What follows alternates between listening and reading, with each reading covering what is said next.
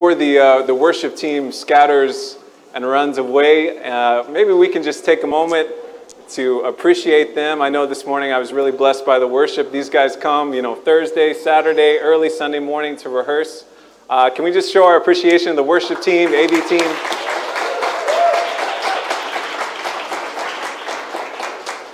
Thank you guys. Well, this past week, a couple days ago, I believe, uh, I went to the dentist. And I think in the past five months, I've been to the dentist five times. Uh, the dentist I go to is, is Maya, one of our church members. Now, whenever I meet Maya at church or, or, or outside of church for another you know, meeting, I enjoy it. I like Maya. We have a good conversation. I always enjoy seeing Maya. But I must confess, I don't enjoy seeing Maya when I meet her at the dentist office because I know there is going to be some pain. I know there's going to be some discomfort. I know I'm going there because there's something wrong with my teeth that needs to be fixed. And of course, Maya does her best to make me feel comfortable. She does a great job. But I simply just don't like going to the dentist. It's not one of my top 10 places to go. And for my whole life, all of my visits to the dentist, they all end in the same way. They always say, hey, you, you have pretty good teeth. So if you just, you know, brush your teeth a little bit more every day, if you, if you, if you flossed even just a little bit, then there would be no problem. And I know they're not lying to me. I know that they're telling me the truth. In fact, usually the first few days after going to the dentist, I brush my teeth a little more. I, I brush for a longer time. Sometimes I even floss. But after about a week, two weeks, I go back to my old ways. My brushing time decreases, my flossing time decreases, let's say, to zero. And the fear of going to the dentist starts to fade away, and I just go back to my old habits. This can be true of us spiritually sometimes, can it? God shows us something in our lives that He wants to, wants to, uh, to change within us, something that He wants to grow within us. God shows us something that He wants us to trust Him with, to have faith about. He shows us something in our life that isn't good that He wants, to, he wants you to get rid of. And we think, okay, let's do it. And we start out strong, it's going well. But then after some time, after a little bit more time, it's right back to our old ways. So, how do we as believers actually change? How do we actually grow? How do we take a real step forward without always taking two steps back? Well, that's what we're going to look at this morning. So, if you have a Bible, please turn with me to uh, 1 John chapter 4. We also have the text on the screen for you. We've been studying this book the past few weeks, and we're getting closer to the end uh, likely next Sunday will be our last Sunday in 1 John. But at the end of chapter 4, John is going to go back to some of the themes he's already talked about in this letter so far. In other words, John really wants us to catch the idea that he's been talking about. So if you didn't catch the idea in chapters 1, 2, or 3, he really wants to, to make sure that you catch it by chapter 4. So look with me, 1 John chapter 4, uh, beginning in verse 7. It says, Beloved, let us love one another, for love is from God. And whoever loves has been born of God and knows God. Anyone who does not love God does not know God, because God is love. The reminder here again is to love each other. Why? John says, because love comes from God. God is the source of love. Love for each other is a sign of, of being born again, is a sign of knowing God intimately. John says that anyone who doesn't love doesn't know God. Why? Because that person's heart has obviously not been changed by the love of God if they don't love others. In other words, the love of God should flow out of us because love comes from God. And as it says in verse 9, God is love. It's one of God's attributes. You know, on Wednesday night, we have our, our foundations course in the church office. And we've been walking through the Bible, specifically the Old Testament. And it's been amazing as we study the Old Testament to, to read about God reaching out in his love constantly to his people, Israel, in the Old Testament. You know, sometimes we hear that in the Old Testament, God is angry, but in the New Testament, God is loving. But when you read the Old Testament, you see God constantly reaching out in love to his people, showing them the right way to go, showing them the right things to do. But they may follow God for a little while, but pretty soon they reject him, they go back to their old ways, they even go after other gods. But again, God reaches out to them again. He tries to warn them. Think about how many pages in our Bible are filled with the prophets, right? This is God speaking through the prophets, trying to warn Israel about what would happen if they didn't obey. And you don't warn somebody if you don't care about them. You don't warn somebody if you don't love them. But despite God's warnings, Israel decided not to listen to him, and of course, they suffered the consequences. But this love of God flows out of the Old Testament into the New Testament as God sends Jesus, his Son. Verse 9. In this, the love of God was made manifest among us, that God sent his only Son into the world so that we might live through him. In this is love. Not that we have loved God, but that he loved us and sent his Son to be the propitiation for our sins. Beloved, if God so loved us, we also ought to love one another. No one has ever seen God. If we love one another, God abides in us, and his love is perfected in us. We see in these verses that God's love for us isn't just a feeling, right? But his love, God's love for you, is displayed in action. His love was manifested, it said, by sending Jesus Christ into the world so that by believing in him, we might have eternal life and salvation in Christ, that we can be forgiven, we can be set free. It says here again that Jesus was the propitiation for our sins. John used this word back in chapter 2. And propitiation might seem like a long and sort of, you know, technical word. But propitiation, when we understand it, is one of the most glorious words of all time. Because propitiation means that instead of us paying the penalty for our sin, Jesus, in his love, went to the cross and paid the penalty for our sin himself. Because of propitiation, we can be reconciled to God, we can walk in the light. And John makes it clear in these verses that this wasn't some kind of 50 50 partnership. It wasn't like we were walking on the same road as God or we were working towards the same goal as God.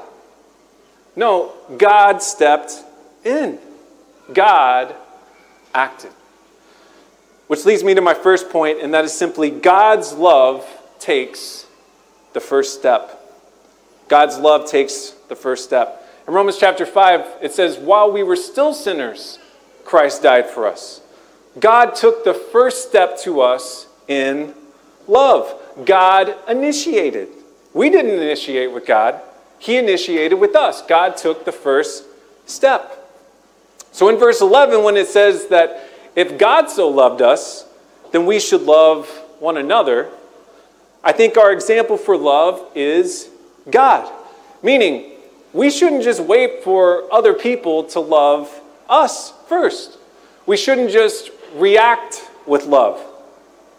I think God calls us to take the first step with love. We should reach out to one another in love, even if we feel like the other person doesn't deserve it.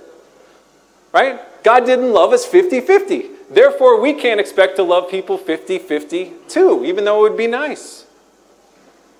This kind of love, this first step kind of love, loving people when they don't deserve it, Verse 12 says that this kind of love shows that the supernatural love of God is at work in your life. John says, No one is seeing God, but people can see God in you when you love this way. You know, maybe there's a relationship in your life right now that needs some work. Maybe there is a conflict, maybe it was recent, or maybe it was a long time ago, and, you know, things aren't the way that they used to be. And maybe you and this other person are simply just waiting for the other person to apologize.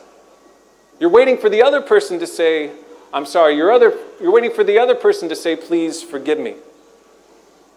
But the truth is, both of you could be waiting forever. What is needed to restore that relationship is for someone to take the first step, just like God did with us. And maybe that other person will take the first step, but I wouldn't count on it. the truth is, you can't control what the other person does, but you can control what you do. You can be the one to take the first step. You know, whenever I talk to, to married couples who are having a crisis uh, in their relationship, it's typically the same story. Something happens, and one person feels hurt. Then the other person starts to feel hurt. And then each person feels so hurt, they start to put up a wall.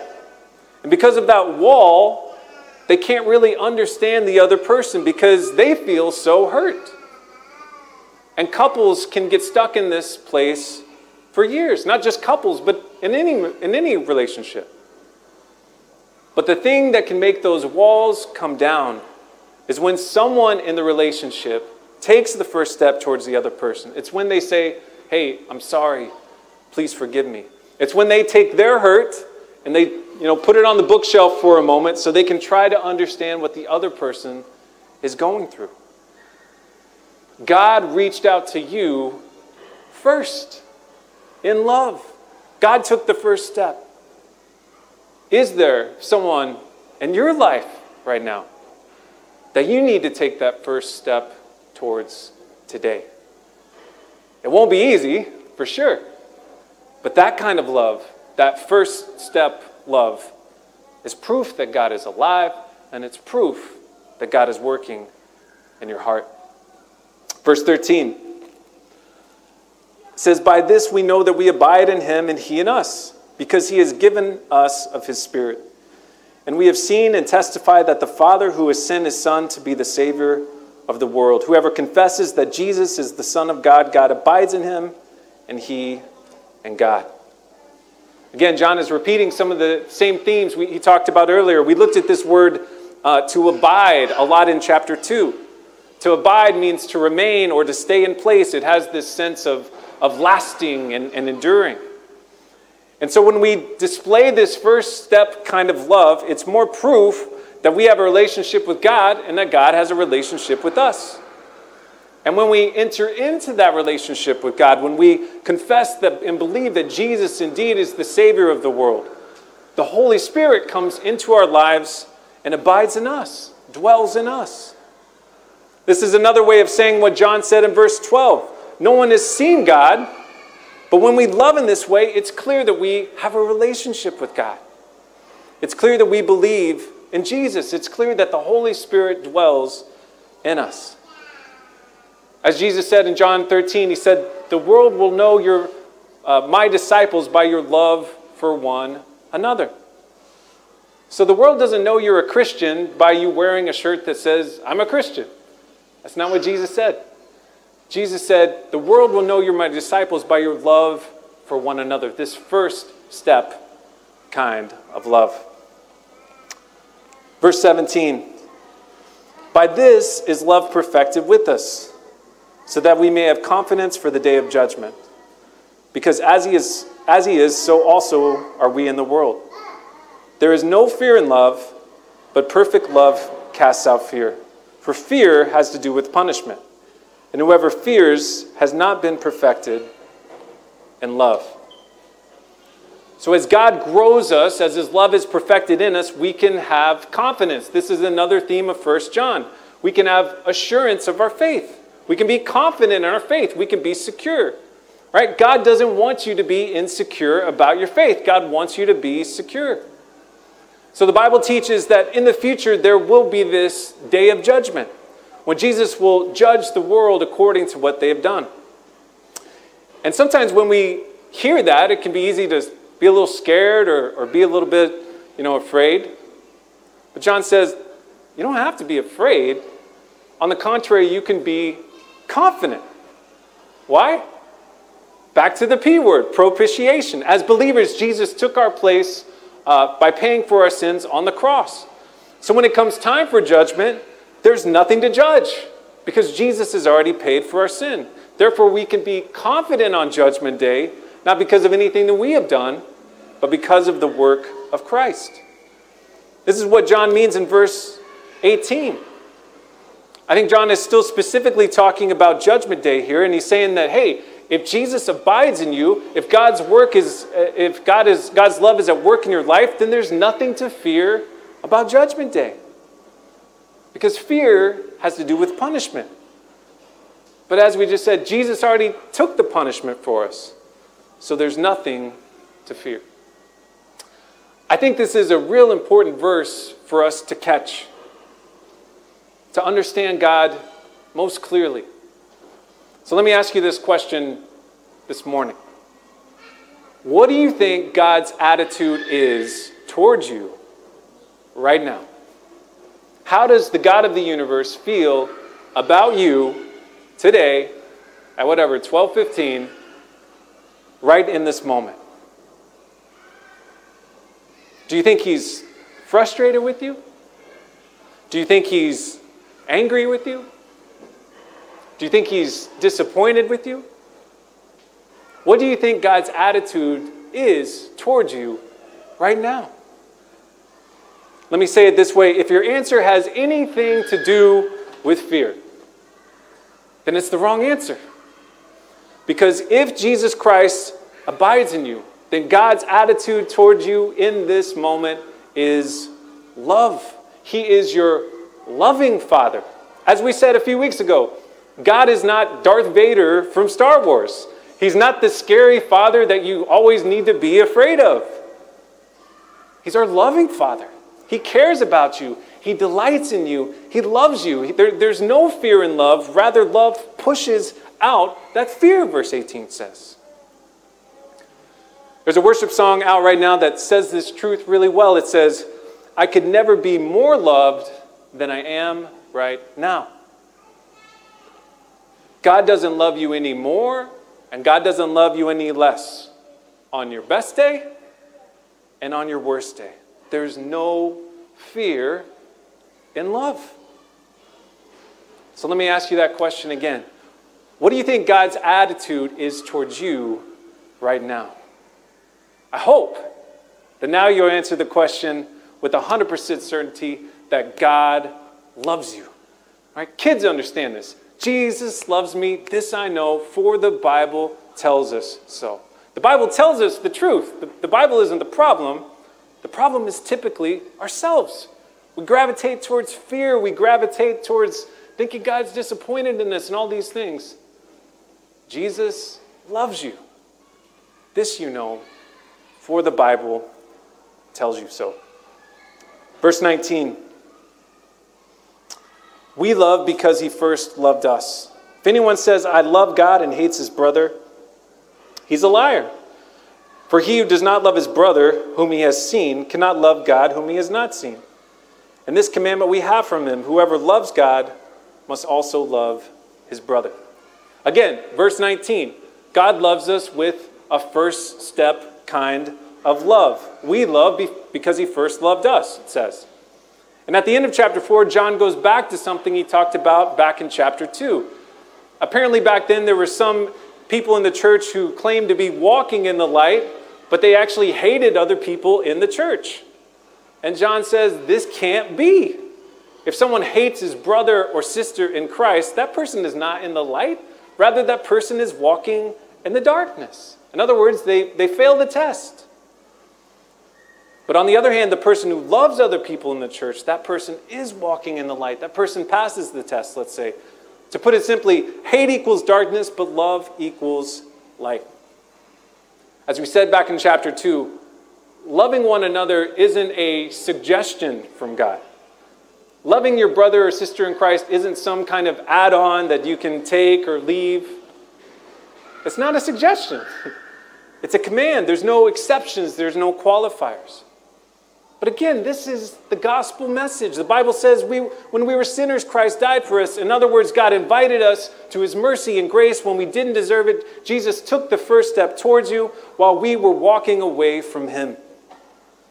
We forgive because Jesus forgave us. We reconcile with others because God reconciled us to him. As Jesus said in the Gospels, it's easy to love someone you get along with. But the message of the gospel is loving someone even when you feel like they don't deserve it. And in verse 21, it says this is a, a package deal. Whoever loves God must love his brother or sister. You can't opt out of it. You can't just love one. You can't just love God and say, oh, I'm just going to love God, but people, no thanks. It says it's a package deal. We're called to love God and we're called to love each other. Chapter 5, verse 1 says, Everyone who believes that Jesus is the Christ has been born of God, and everyone who loves the Father uh, loves whoever has been born of him. By this we know we love the children of God, when we love God and obey his commandments. For this is the love of God, that we keep his commandments, and his commandments are not burdensome. Verse 1 reminds us again of a theme we looked at earlier in this book as well being born again. Jesus said, if you want to enter the kingdom of God, you must be born again, not physically, but spiritually. That your heart must be transformed. So to be born again means to have a, a new place, a new start, a new, a new uh, uh, uh, a life in Christ. Right? You can't be born again without dying. So when we believe in Jesus Christ, our old life with, before Christ has died, and we can be spiritually born again, we can be regenerated. And it says here a sign of being born again is that we love each other and we obey the commandments of God. This shows the world that Christ abides in us. And in verse 3, it says that we love God by keeping his commands. I mentioned this before, but a few years ago, I, I, I started asking myself the question, you know, what does it mean to love God? After all, Jesus said that the, the greatest commandment, the first commandment, is to love God with all your heart, with all your soul, with all your mind. But I was thinking, what does that mean? Does it mean I get all of these, you know, warm and, and fuzzy feelings and emotions when I, when I think about God? Does it mean every time, you know, we sing a song to God in worship that I, you know, cry a little bit? Is that what loving God is all about? Well, if it is, I, I can't really relate to that. I mean, I don't always want to cry. I'm, that's just not me. So, does that mean I don't love God because I'm not full of emotion and weeping? So, I wanted to study this more, and I, and I searched the Bible for what does it mean to love God? And I found in many places the truth that we read about here in verse 3 that loving God means keeping his commandments. Look at me at John chapter 15, verse 10. Jesus says, If you keep my commandments, you will abide in my love, just as I have kept my commandments and abide in his love. It says this in 2 John 1 6. It says, And this is love, that we walk according to his commandments. John chapter 14, verse 15 says, If you love me, you will keep my commandments. Therefore, to love God does not require us to have some emotional experience, though that our emotions are part of it. But to love God is to obey His commandments, which means that you can love God and abide in His love by having its integrity when you're at work.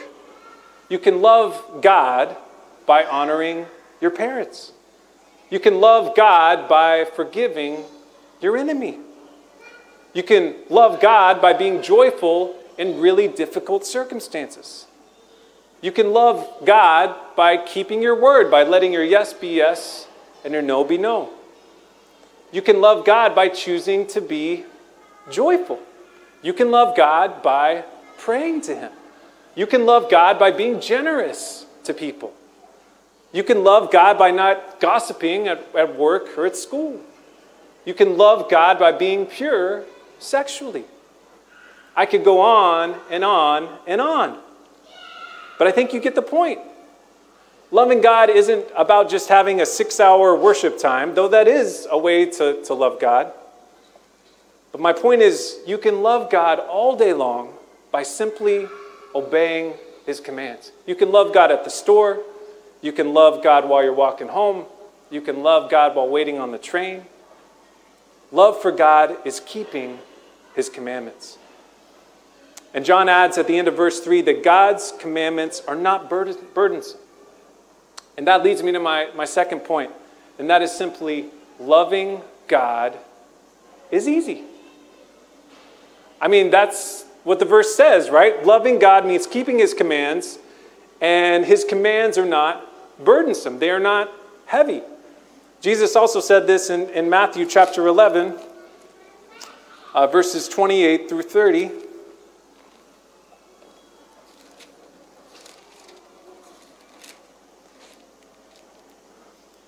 Jesus said, Come to me, all who labor and are heavy laden, and I will give you rest.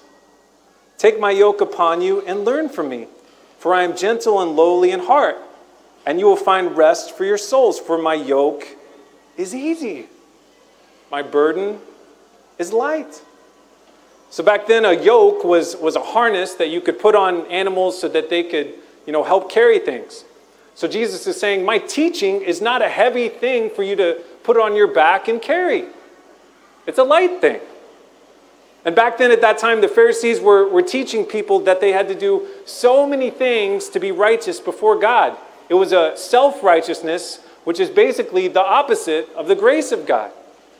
And this teaching or this yoke was heavy for the people back then. There were so many things to do, and it didn't solve the problem of sin. But Jesus comes along and shows them a more excellent way. He says that my, my teaching is easy and my burden is light. How can that be true? As we said earlier, Jesus carried our burden for us to the cross, He paid for our sin. So I would say from these verses, loving God is easy, but sometimes we can make it so hard. Instead of giving Jesus our burdens for him to carry, we try to carry them ourselves, which Jesus never intended for us to do. Because it's in Jesus that our souls find refuge, it's in Jesus that our souls find rest. In other words, if you're weary and if you're tired this morning, the best solution is not to go spend a day at the spa and, and getting a massage or getting a manicure, though that, that would be nice. The best solution is to run to Jesus, the Good Shepherd, to cast your cares upon Him. He is our, our hiding place, our safe refuge, our comforter. Go to Him today. If you're weary and weak, He says that He will give your soul rest. That's a promise from Him to you. Because we're all battling something, we're all dealing with something, we're all carrying something. And Jesus looks at us and says, Come to me with that. This life is not easy. You know that. We all know that. But the Bible says that loving God is. We can love God by keeping His commandments, and His commandments are not burdensome. Jesus' teaching is not heavy, but it's light. Most of the time, we already know what to do, but the question is simply, will we do it? As I said at the beginning, I'm never really surprised by what the dentist tells me to do. It's always the same commands, right? Brush your teeth more, floss more. And those commandments aren't burdensome. It's not a lot of extra work. The dentist is trying to, to help me. Maya's trying to help me, right? If I did those simple things, my teeth would be fine. There'd be less pain and more health. The commandments, or the commands aren't burdensome, the commands are simple. It simply comes down to me doing it. But there's a big difference in following the dentist commands and following the commands of God. And that is when we try to follow the commands of God, we don't have to do it in our own power. We don't have to do it in our own strength because the Holy Spirit abides in you. The Holy Spirit dwells in you. He guides you. He teaches you. He intercedes for you. I'll say it like this the more you try to follow the commands of God in your own power, the more you're going to fail. That's the truth. But the more you open your heart to the Spirit, the more you allow God to work in your life, the easier it is to follow the commands of God. Because it's God working in you and through you rather than you trying to do it for God. The Bible says when we are weak, He is strong in us, not the other way around. Life is hard, but loving God is easy when we come to Him for rest for our souls. You might think you need the spa or the massage, and there's nothing wrong with those things. But what you need most is Him. Let's close with verses 4 and 5. It says, For everyone who has been born of God overcomes the world, and this is the victory that has overcome the world, our faith. Who is it that overcomes the world? Except the one who believes that Jesus is the Son of God. Another theme we've seen in 1 John that if we have believed in Jesus Christ, we have overcome the world. When John talks about the world, he's talking about a, a system or ideology that is opposed to God. But as believers through Jesus Christ, we have overcome the world through faith. As I said earlier, we're all in some kind of battle today. We're all going through something. We're all dealing with something. And maybe today it starts to feel like you're losing that battle a little bit. But just remember, the Bible says you're an overcomer. You will see a victory. In Jesus Christ, you are on the winning team. So hold on. Keep the faith.